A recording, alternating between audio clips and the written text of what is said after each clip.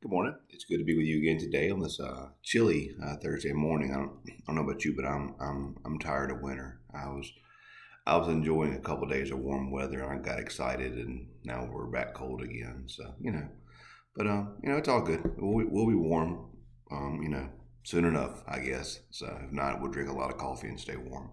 But uh, today's um today as we as we read scripture together, um, the passage that really stood out to me the most was uh today's readings were all really well, really good. I really enjoyed Galatians as I always do, and um, the passage that really stuck out to me was our gospel lesson, uh, which is uh, Mark.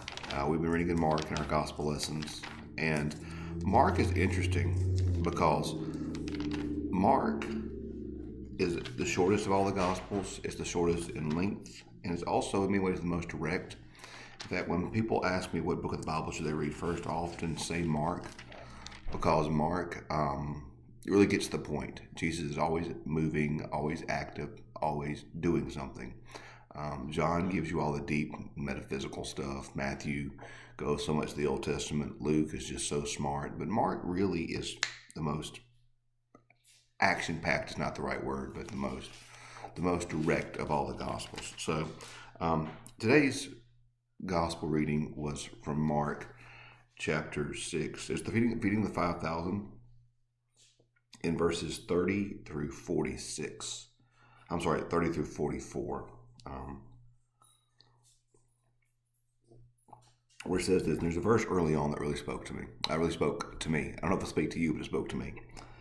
Um, verses 30. And, and it's important, one of the one of the keys for understanding Mark's gospel Mark probably more so than any other gospel. Uh, I don't know. This is important in all Scripture. It's this is important in all Scripture, but it's really important in Mark. Mark's so fast moving.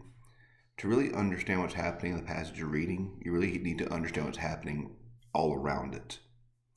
For Mark, context is so key. Uh, Mark context is the key to understanding this. So, little background. Yesterday we read about the beheading of John the Baptist. Um, John the Baptist was captured by Herod. Um, his wife's daughter basically uh, tricked him into beheading John.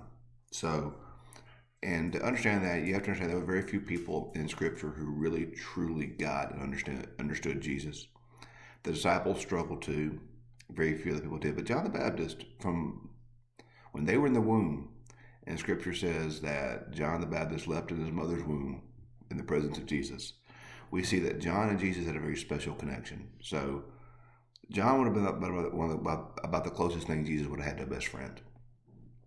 So, right before this, right before the feeding of the 5,000, Jesus' best friend was killed, martyred, murdered by the king. So, that's what has just happened. Now, let's read into verse 30. The, the, the uh, apostles gathered around Jesus and told him all that they had done and taught. And remember, this is important because um, he had um, he, he in the passage before that. Remember, context important. In chapter six, verses um, six through twelve, he sent some six thirteen. He sent them out to do mission and ministry. He sent them out the twelve. Then thirty picks up. They told him what had happened. So you had the disciples having had a great victory. Great victory. They had done amazing things. Jesus suffering from the murder of his friend. All this had happened. So then he says in verse 31 to come away to a deserted place by yourselves and rest for a while. For many were coming and going, and they had not even leisure to eat. I think that right there, that passage there, is a key verse because then we keep reading and many saw where they were going they followed them. Verse 34 says jesus had compassion for them. Um, he began to teach them. Uh, they said hey it's getting late. Um, he said well, we to send them off to the towns buy some needs. He said well you you, you feed them they're like well what are we going to do with it? Where are we going to go buy all mcdonald's is closed man. What are we going to do? So he said how many loaves do you have? They gathered five loaves two fish. He fed them there was 12 baskets of food left, you know, and I remember Bible always full of symbolism. 12 is for completeness. The passage says here they ate and they were filled. This says there were 12 baskets left over, uh, 12 tribes of Israel. You know, it's a, a, powerful symbol of completeness that they had been completely taken care of.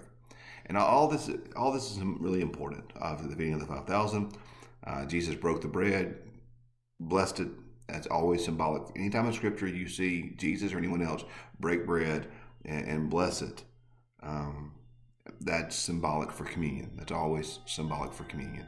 Um, but for me, the very beginning of the passage, verse 31, in light of what had just happened with John the Baptist, and in light of the victory the disciples had achieved, Jesus' command was, Come away to a deserted place by yourselves and rest for a while. That's one of those passages I need to read because I don't do real well at resting. Um, that's why I took a little trip a couple weeks ago just to get away and unplug and, and, and, and rest for a while, mentally, spiritually. Um, we are in an age that prizes busyness. Um, you want to know how important you are? You look at your schedule. We like to be busy. It's a good thing. It, it makes us feel makes us feel important. At least does me. It makes me feel important to be so busy. Um, and what we substitute busyness for, you know, remember the old saying, uh, work harder or work, work smarter, not harder. Um, we are always busy. We're always doing something. But are we always doing the right thing? Are we really working on what matters? Are we spinning our wheels on things that don't matter? And what happens, it becomes like one of those self propelling machines. We work harder, we're busier, so we don't have time to think. So we go, go, go, go, go. We never rest. And we never give ourselves space for God to speak. Think that's one of the things that we need to always understand is that no matter how busy we are in our life, no matter what's going on in our life, no matter how important it may feel, and trust me, y'all, I'm preaching to me, not to you. This is an Andy thing. I don't do this well.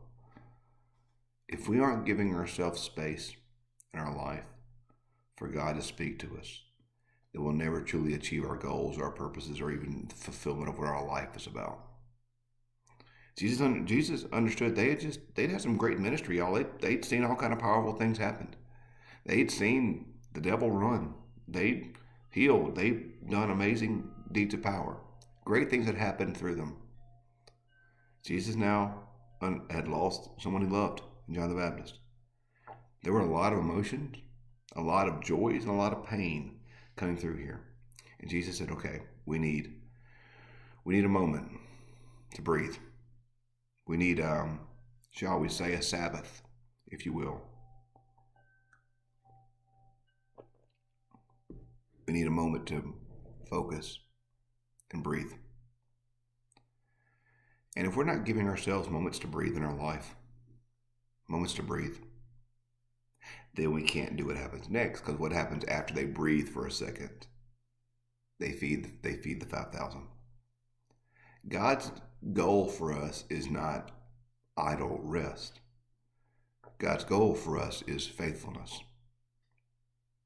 So our resting replenishes us renews us, and gives us grace to be faithful, to be obedient to the mission that God's calling us. To. Because here's what else happens when we don't give ourselves time to rest, we don't give ourselves time to hear God, we don't give ourselves time to, to, to quiet ourselves, we don't give ourselves the space to actually hear what God's calling us to do.